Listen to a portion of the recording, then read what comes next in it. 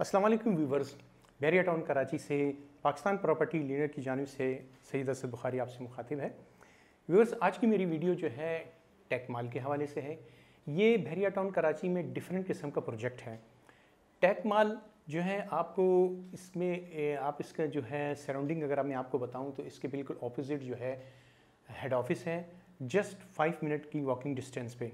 और इसकी back side पे जो है लेक व्यू अपार्टमेंट बन रहे हैं और उसके बिल्कुल साथ जो है डॉक्टर प्लाजा बन रहा है।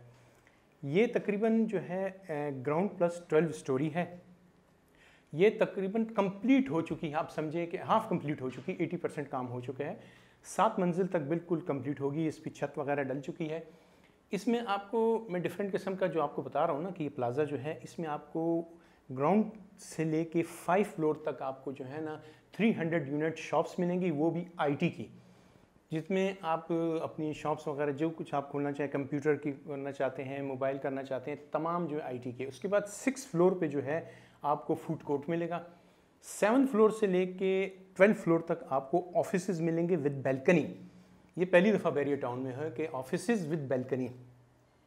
अच्छा यहाँ मैं आपको बताता चलूँ कि जो है, इसमें थ्री जो है लिफ्ट हैं। दो पैसेंजर लिफ्ट हैं, एक जो है कार्गो लिफ्ट है। और मज़े की बात है कि तीन साल का प्रोजेक्ट है। अब तकरीबन 20 महीने मुकम्मल हो चुके हैं 15 महीने इसके रह गए हैं कंप्लीट होने में। यहाँ पे आप जो है, अपनी फ़ाइल भी मर्ज कर सकते हैं, करा सकते हैं। जैसे कि आपकी कोई फ़ाइल कैंसिल हुई हुई है या ब्लॉक हुई हुई है तो हम इसमें मर्ज कर सकते हैं।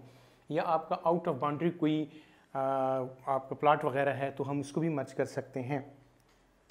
ये जो प्रोजेक्ट मैं आपको बता रहा हूँ, ये प्रोजेक्ट है California real builder and state वालों का। ये आपका मेरा ख्याल तीसरा या चौथा इनका प्रोजेक्ट है। ये जो है डेफिनेटली हंड्रेड परसेंट अपने टाइम पे प्रोजेक्ट देते हैं। तो ये आज की जो मेरी वीडियो थी, आपको इसी के हवाले से बताना था कि टैक माल में आएँ, अपना जो है शॉप्स वगैरह या ऑफ़िस बुक वगैरह कराएँ। तो आपको स्क्रीन पे मेरा नंबर नज़र आ रहा होगा तो आप मुझसे कांटेक्ट कीजिए मज़ीद मालूम के लिए। तो इन नेक्स्ट वीडियो में मिलेंगे। तब तक के लिए अल्लाह हाफिज़।